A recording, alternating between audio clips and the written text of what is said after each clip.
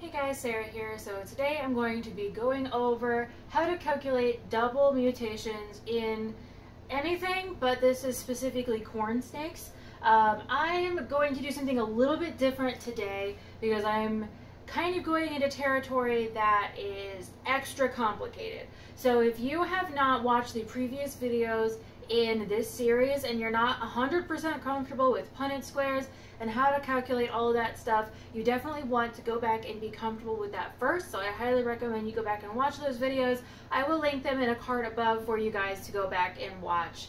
Uh, so the calculating double G mutations is a little bit more difficult in that um, there's just a couple extra steps that you have to take before you do the Punnett square, and the Punnett square is going to be larger. Uh, you can do a Punnett square like this that we will do for as many different possible genes that there exists. However, you're going to, that Punnett square is going to exponentially grow in size. And when I say exponentially, I mean it in a literal term. Like it will, it will multiply itself every time that you add another gene on. So for now, we're only going to go over the double mutation, uh, or two mutations that uh, are not compatible with each other. We've done two mutations that are compatible with each other in the allelic genes, but this is not going to be that. This is going to be calculating maybe two recessive genes or a dominant gene with a recessive gene. Uh, I will be going over all of that as we go through. So what I'm actually going to do is use J and V for genes 1 and 2, and then X for my placeholder as I've been doing. The reason that I picked J and V is because I don't really represent any specific gene. What I want us to do is calculate the whole Punnett square and then go through and use that Punnett square to um, translate it to different genes that we apply to these. So gene 1 could be motley and gene 2 could be tessera. Gene 1 could be uh, amel and gene 2 could be diffused. Uh, it, it really depends on what you want to apply it to but we're going to go ahead and just start. So we're going to assume that what we have is a visual JV to a het JV. That's what we're going to assume for at least the first pairing. Uh, I'm going to go ahead and start it up here. So remember the homozygous or the visual, I don't want to say visual, we're just going to go ahead and say homozygous and heterozygous because uh, even though most of the genes in corn snakes are recessive, I don't want to assume that we're working with recessive genes here. So the homozygous is going to be J and V. And remember, if we do that, we have to have two of them because there's two different sides of the DNA. And we want that to be on both sides.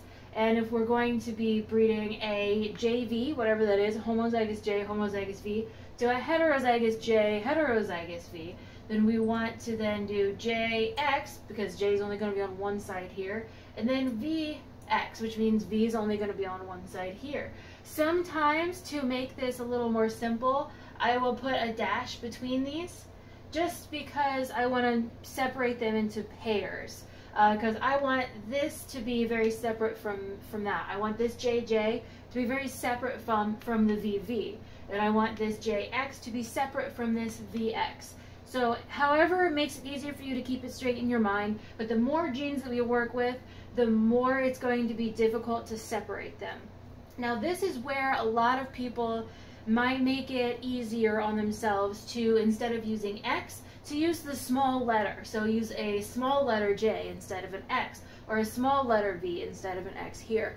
I always use X because that's what's easier for me, but if it is easier for you to substitute the X on this J here for a small j and the X on this V here for a small v, feel free to do that.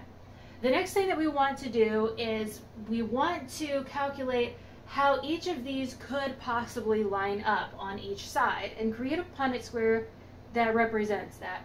So what I mean by that is um, when these line up in any given baby, the J and the V here could line up, so I'm going to call this uh, J1, and I'm going to call this J2, and then I'm going to call this V1 and this V2, just to kind of separate them. So the options that you have are combining this J with this V, so 1 to 1, you have this J with this V, which would be 1 to 2, V2, and then you could put this J with V1 or this J with V2. Uh, I know that that looks complicated, but we're just going to write it out. So um, I'm going to go ahead and just put here J1.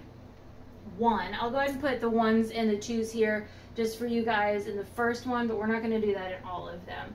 So J1 could be with V1. J1 could also be with V2. So J1 with V2. And then J2 could be with V1. So you could say J2 V1. And then J2 could also be with V2. So J2 and V2.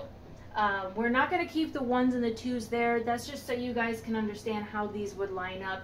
I'm going to go ahead and do the same for this one, but instead we're going to go down this way because this represents one parent up top and then something else would represent the other parent on the bottom, or not on the bottom, on the side. So uh, we're going to do the same thing, but instead we're going to line up that J with that V. So we have J lining up with V, or we have J lining up with X. So J could line up with X. Then this X could line up with V, so we could do X, V, and then this X could line up with that X. So then we have X, X. Gotta make sure that that looks like an X. Okay, so here we have laid out the basics for our Punnett square. And I'm gonna go ahead and make the square. This is definitely more of a rectangle, and the bigger you get, the more of a rectangle it's going to be. And you wanna separate between each of these. And remember when I said that it gets exponentially larger, instead of having four squares this time, we are going to have 16 squares. And I know that they're rectangles and they're a little weird, but just go with it. So I'm going to go ahead and erase our ones and twos up here because we don't need them and I don't want to add too much stuff to confuse you guys because it's already confusing enough. So we're going to go ahead and fill this Punnett square out like we would fill out any other Punnett square. We're going to take these going down and then we're going to take these going across. So uh, all of these are going to have JV going down because all of them are JV. So I'm going to, and that's because if you'll remember, this parent was homozygous for J and V. So I'm just going to go ahead and put JV all the way down here. JV. And then over here.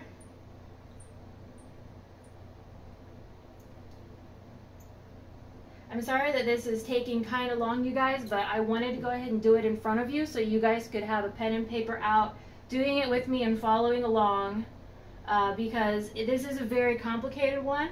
And it, um, if you can get this, you can get pretty much everything we're going to do in the future. So it's really important that you guys kind of understand how we're doing this. So that's why I wanted to just go ahead and fill everything out while I'm in front of you guys. Okay, this JV is going to go ahead and go all the way across. So I'm just going to go ahead and do that too. JV, JV, and I know that this seems like, hey, we're Writing the same thing over and over again. What's going on? Don't worry, it's better. So uh, here, this is JX instead of JV. So we're going to take this JX all the way around. JX. JX. And then this is XV. So we're going to go ahead and do that. XV. XV. And then this is XX. So we're taking that XX over. Okay, now I know you might be thinking, this just looks like a weird jumbled up, like all these letters are all over the place. What do any of them mean? Well, if you'll notice, everything in the first row is all the same, and then everything in the second is the same, and the third and the fourth.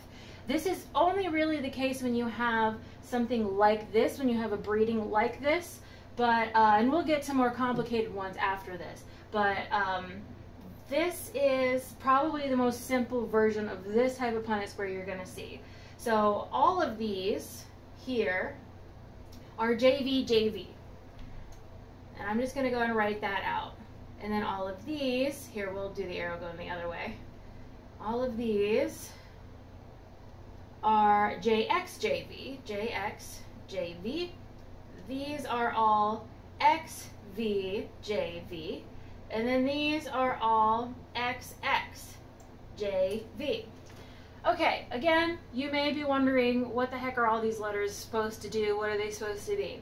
Well, if you'll remember, you can put a dash between each pair to sort of separate the different sides. But in this case, you don't necessarily have to since it's so simple, but it does give you an idea of the different sides of the DNA on these offspring. So we have one quarter of the offspring that are the JVJV, one quarter of them are the JXJV, one quarter of them are the XVJV, and then one quarter of them are XXJV. And what all of that means, if you line it up, you can rearrange these to look like the parents if you want. And I'm going to go ahead and do that because to me that makes it a little simpler. So we have two J's that line up up here. So I'm going to go ahead and put those two J's next to each other. We also have two V's in the same one. So I'm going to go ahead and put those V's next to each other.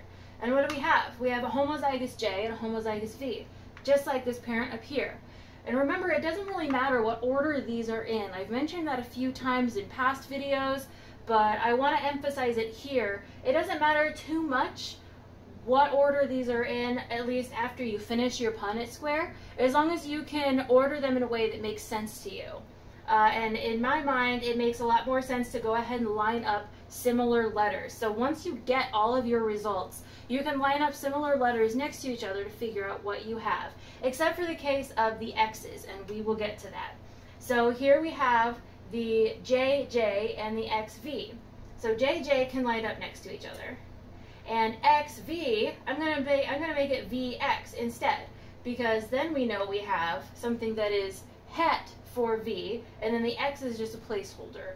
Now this is where a lot of people would rather use their small letter instead of their instead of an X, because the X can be confused for the other X's, the other placeholders. That can make it confusing, um, but the way that I have done things, it does make it easier for me to pair a placeholder with something than it is to try to keep track of um, what a small v is and what a large v is versus a small p and a large p or a small s and a large s. Because all of those look so similar and especially when I'm writing out like this x's are just easier for me. But if you're typing it out or if you're writing it out it is easier for you to a small letter in place of the x feel free to do that like I said um, I'm going to go ahead and do the next one. We have um, two V's together this time. So I'm going to go ahead and put the two V's together. And then the ones that are left over are J and X. So JX. And here we have opposites. So here we had a homozygous J that was het for V. Here we have a homozygous V that's het for J. And over here, we're going to go ahead and pair an X with each J and V because they don't have another similar letter to be paired with. So I'm just going to say JX and VX. And as you notice, this parent is the same as this parent, and then this parent is the same as this parent. I'm sorry, this baby and that parent, if that makes sense. So again, you're probably wondering, what does all of this mean? Well, if you apply the two different genes that you're working with, as long as they're not allelic to each other, you can calculate any two genes uh, in corn snakes that are out there pretty much. I did go ahead and write on the board the dominant gene list, incomplete dominant genes, and then the recessive genes. I didn't write down the recessive allelic genes. Uh, I will link that video in a card above if you guys want to go look at that. Um, that one, along with the motley and stripe, uh, is a little complicated, but and I didn't want to like write out every single gene on the board. I just wanted to kind of give you guys a reminder of which genes do what. So I'm going to do three different examples with this that we've laid out here and apply those genes to this. So the different examples that I'm going to do are I'm going to pair a recessive gene with an incomplete dominant. I'm going to pair a recessive gene to a dominant, and I'm going to pair an incomplete dominant with a dominant, just so you guys can get an idea of how this Punnett square could apply to pretty much anything that you're to do. Uh, maybe we'll go ahead and do four or more, just, just so you guys can also do like recessive with each other. So um, let's just say for the sake of argument that J is amel, since we're here. J is going to be amel, and V is going to be anery. That's two recessive genes. I know I said I was going to start with other things, but we're going to start with two recessives. If J is amel and V is anery, then what we have up here is a snow to a het snow. And the babies that come out are, here, this is one set, one quarter snow, we have one quarter AMEL, het for anery, we have one quarter anery, het for AMEL, and we have one quarter normals that are het for AMEL and anery. So that's how you would interpret that if you were breeding two recessive genes together. Now let's just say instead of anery, that one is a tessera. This one is a little bit weirder because tessera is a dominant gene, but we'll just read through it. So if J is an AMEL and V is a tessera, here we have an AMEL tessera that's homozygous tessera. And here we would have an AMEL that's heterozygous tessera, which means it would be a visual tessera, but it's a heterozygous tessera. So if you bred that to a normal, you would get half tesseras and half non-tesseras statistically. Uh, here you're going to have a homozygous tessera that's het for AMEL, and then down here you're going to have a het tessera, het AMEL. Remember, the het tessera is going to be visual tessera in this case. Uh, so let's try a different one. Let's go ahead and try a, uh, an incomplete dominant gene. So let's try tessera with palmetto. So let's say that the J's are P's and the V's are T's. I know this is not confusing at all, right? Uh, so with that case, this is going to be, again, a homozygous tessera and homozygous palmetto. So as you guys know, homozygous palmettos, they're completely white with little speckles of color on them. Uh, the next one that we would have is, again, a homozygous palmetto and a heterozygous tessera. And these are both going to visually be tessera, like I said, and visually palmetto, the pretty white snakes. Uh, but it's, it's only a het tessera, so not all of its offspring are always going to be tesseras. Uh, here we are going to have a homozygous tessera with a heterozygous palmetto. Now this one is going to look sort of like a hypotessera because palmetto in het form kind of looks like a hypo. And then down here we again have the heterozygous palmetto with the heterozygous tessera. Again, this is going to be a visual tessera, and it's going to look kind of hypo because of the palmetto.